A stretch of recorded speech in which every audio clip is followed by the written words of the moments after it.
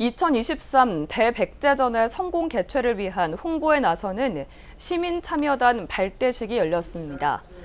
시민참여자는 모니터링 30명과 SNS 홍보 마케팅 20명, 총 50명으로 구성됐습니다.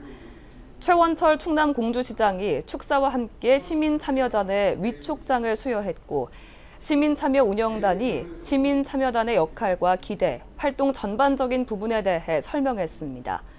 또한 홍보 영상을 통해 백제 문화재의 의미에 대해 살펴보고 분과별 모임을 구성하는 시간도 가졌습니다.